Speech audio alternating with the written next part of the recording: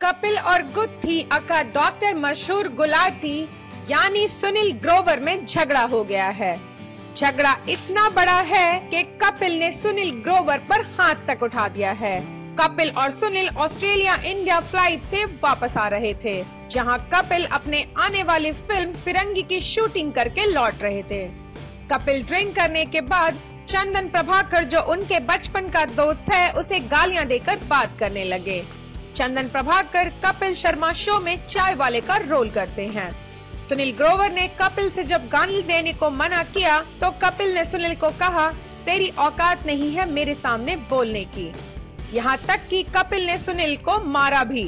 फिर फ़्लाइट के crew members ने आकर सुनील को बचाया। मगर अब कपिल सोशल मीडिया पर इसे लाइट सी बात बताकर निकलने की कोशिश कर रहे हैं।